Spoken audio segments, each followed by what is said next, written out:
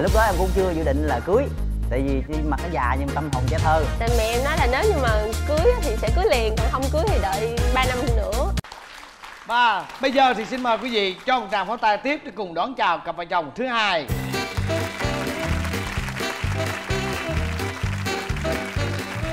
À, xin chào hai em. Mà hai em giới thiệu về mình. Dạ em tên công họ võ. À, công anh em- võ. À, võ công võ công. Tình công họ võ công. Có hai chữ thôi. Võ công. Dự định là đặt con trai là thâm hậu à, vậy hả? Ủa, nhưng mà hai em đã có em bé chưa? Dạ chưa dự định chưa đang dự định đúng không? Dạ. đó. Nếu mà đẻ sinh đôi hai thằng trai thì sao?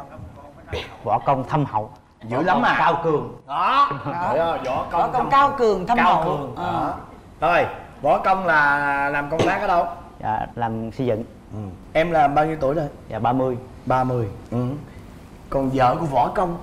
Dạ chào anh Quốc Thuận chào chị Hồng Vân. À, em tên là Huỳnh Thị Thảo Quyên hiện à, em làm thư ký công trình. À, năm nay em 24 tuổi. Rồi công với quyên lần đầu tiên gặp nhau như thế nào? À, dạ thực ra là gặp nhau ờ, quen nhau qua qua mạng. Thì hôm đó là mùng một Tết em ở nhà mới quét Zalo tìm tìm bạn bạn quét zalo à. xong rồi thấy anh này uh, avatar hình là đang ngồi nhìn cái máy tính. À, em nghĩ là anh này chắc là chăm chỉ lắm nên là kết bạn làm bạn chứ em cũng chưa có nghĩ gì. Nhưng mà lúc đó em quét là có nhiều người không? Dạ cũng được năm sáu người gì đó. Rồi. Sao? Bao lâu thì mới gặp nhau ở ngoài không? Dạ lúc đó là chat rồi gọi điện thoại rồi à, em đi nhà thầy em mới rủ anh này đi chung tại bữa đó không cũng không có xe đi. Thì à, hôm đó lần đầu tiên gặp nhau thì à, em thấy ảnh à, người thì ốm ốm đen đen mà mang mắt kính kiểu giống em nghĩ là kiểu giả danh trí thức vậy đó. Rồi mang theo một cái giỏ quà lớn chắc nhờ giỏ quà nên em thấy cũng được được. Wow. nhưng mà lý do gì mà mà em ờ, quét năm sáu người mà em chỉ có ờ, để ý với anh này? Tại nói chuyện với anh này nhiều nhất. Rồi sau đó là bao lâu thì mới yêu nhau? Cỡ cái tháng sau là bắt đầu yêu nhau rồi yêu nhau bao lâu thì cưới nhau?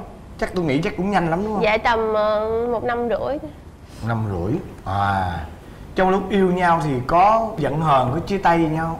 Dạ không lúc yêu nhau á là chắc chắn là không có trục chặt hay là chia tay. Vì vợ em đi học em thì đi công tác xa ở ngoài thanh hóa rồi À. vì đâu gặp nhau cãi Bao nhau. lâu? à, 8 tháng.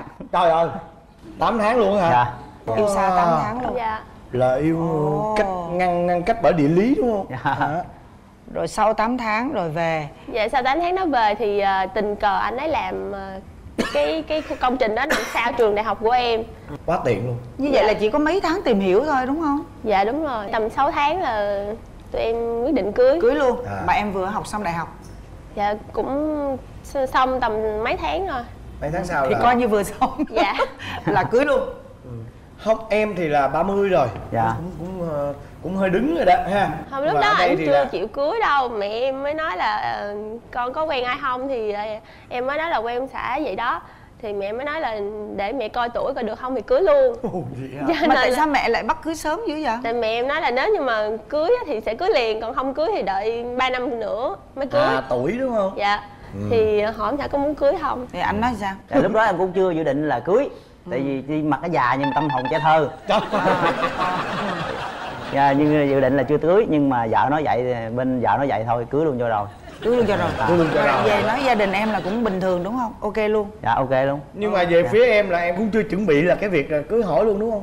Dạ đúng rồi. Lúc đó là tụi em cũng chưa có dự định. Em dự định chắc khoảng năm nữa. À. Bây giờ chị hỏi nè thực ra lúc mà tụi em yêu nhau thì á, là cũng chưa có tìm hiểu về nhau nhiều. Mà bạn này thì cũng chưa có chuẩn bị cho cuộc sống hôn nhân đúng không? Em cũng y vậy.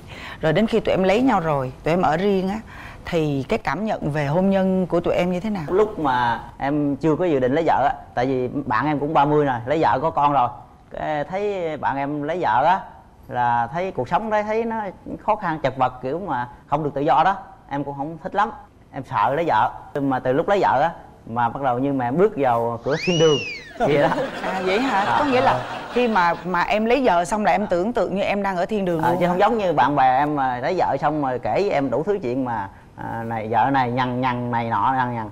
Thì vợ em nhằn cái là em nhấn nút biến mất tiêu. Không còn nhằn nữa. Em muốn đi đâu? Đi vòng vòng vòng ngày nào điện về. Hết nhằn chưa? Hết rồi đi về. Vậy hả ồ vậy đó hả? Rồi rồi à, em kể tiếp. đó, kể tiếp xấu tiếp gì cái nữa? tật xấu tiếp. được.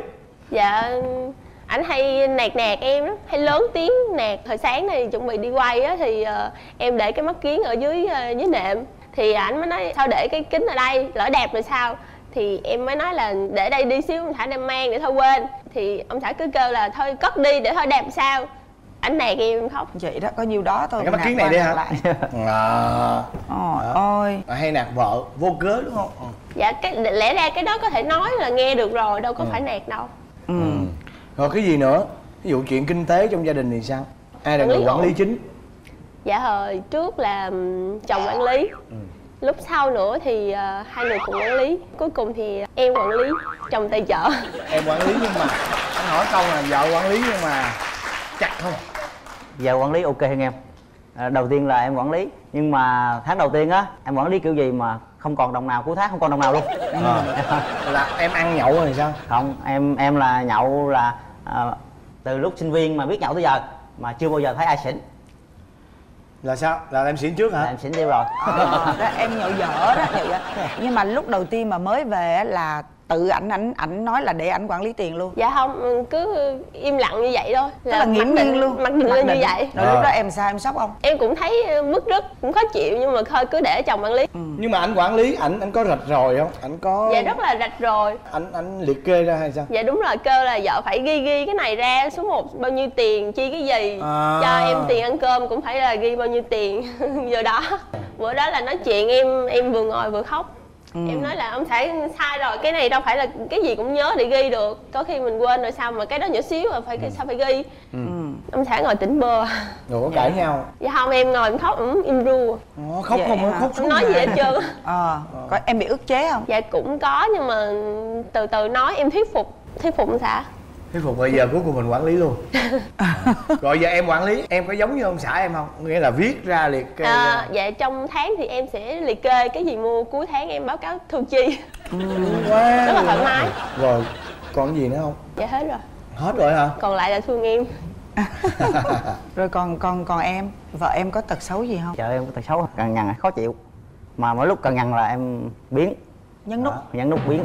À, với cái hay mít ướt đó khóc đó. À mít ướt mà tự tự động khóc tự động hết. Ừ. à, automatic. Đó. Rồi bây giờ mong muốn võ công thay đổi điều gì? Dạ em muốn ông xã bớt nạt em lại đi. Cái gì có thể nói được chia sẻ được thì mình nói mình chia sẻ thì nó sẽ hay hơn. Thấy chưa? Người ta đã mong manh dễ vỡ rồi mà đã vậy còn nạt người ta nữa. Thì ông xã nạt thì em nghe thôi nhưng mà em cảm thấy cái đó không có đáng phải lớn tiếng. Ừ. Còn gì nữa không dạ có thể đi làm về sớm hơn xíu. Hồi xưa ông xã đi làm tới ờ, 11 giờ đêm mới về. Thì lúc đó mới cưới mà em ở nhà em khóc. Khóc nữa. Có mấy tháng khóc hoài rồi bây giờ có bớt lại chưa? Bây giờ là đã về sớm hơn được chưa? Dạ về sớm hơn tại tin em nhũng nhẽo thôi. Rồi ngược lại võ công. Muốn vợ mình như thế nào? Bớt cằn nhằn lại. Bớt mít ướt lại. Hơi mít quá đụng tới là khóc. Mất rượu hai người này hả? mong muốn thay đổi À. đơn giản quá chị dân thì bây giờ họ mới sống gần nhau có mấy Đó. tháng thôi. Bây giờ ông này về sớm thì bà này bớt bớt mít thôi. dạ. Bớt nạt. Đó thì Dạ. bên đây không có mít nữa. Bớt về trễ thì bên đây hết cằn nhằn. Hết mít luôn. Nhiều Đúng lúc không? mà công việc em cũng phải cần phải tăng ca để làm cho xong việc á. Vợ chồng là vợ chồng nhưng phải lo cuộc sống đầy đủ có kinh tế mới được chứ đâu phải lúc nào cũng bỏ công trình rồi đi về nhà với vợ. Rồi tiền đâu lo cho vợ đây không nhưng mà chị chị chị hỏi nè giờ vợ mong em là có những cái có thể nói được bình thường á thì em có làm được cái đó không? cái đó được nhưng có những lúc mà em nạt á là em cũng cố tình là em kiếm chuyện với vợ cho vợ khóc. Thích thích chịu gây sự. Trời ơi cái sở thích cái cái sở thích gì mà mà mà mà thú tính vậy trời? Tại tại tại cái, cái con người em giống cái tên võ công mà. À, phải gây sự. Đó em nghe không? Có nghĩa là chồng em Cố muốn, tình. muốn nhìn em khóc tại vì lúc em khóc á thì thấy thương thấy dễ thương á. Bây giờ khi mà anh đã nói ra cái ý là đó là anh thích như vậy thì em có đồng ý cái thích đó không? Dạ không đồng ý à không đồng nó ý à? lý quá nếu mà không thích thì thôi tại là mình là mình tưởng mình thích vậy để cho cái không cái giống như là tìm cảm giác lạ đó nhưng mà giờ bà không thích lạ thôi. Dạ. Chị thấy á, nếu mà vợ em có cái yêu cầu kia á, thì em em bỏ đi em thử bỏ đi. Bỏ thì chắc không bỏ liền được nhưng mà em sẽ rút kinh nghiệm. Ráng ráng rút đi chứ nó khóc hoài tội nghiệp. Dạ. Đây là sắp tới Dạ, bây dạ. giờ để cho người ta thoải mái đi người ta có bầu. Dạ. người ta bầu có em bé cho em đúng không? Trời ơi chọc quá hai. rồi hai đứa cái này gái lớn khóc rồi gái nhỏ nó khóc nữa rồi dỗ sao dỗ gái nhỏ dỗ cả hai. Bây giờ tụi em đang muốn có em bé hả? Dạ đang dự định. Dự định đó chút đi. Thôi xin chúc cho vợ chồng của gõ công. Dạ. Sẽ có một thằng thâm hậu. Đó mau chóng có một thằng thâm hậu và thậm chí liên tục Có con bé hàng- cao cường. con bé cao cường luôn. Đó nè rồi. Mời con. xin chào hai em